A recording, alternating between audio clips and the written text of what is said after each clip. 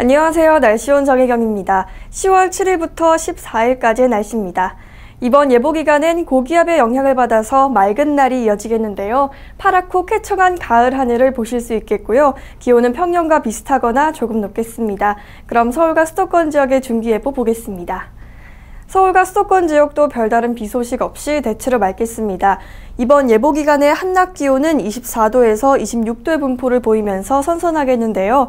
이 시기에 가을 풍경을 느낄 수 있는 단풍놀이 가시는 것도 좋을 것 같습니다. 지금까지 중계해보였습니다.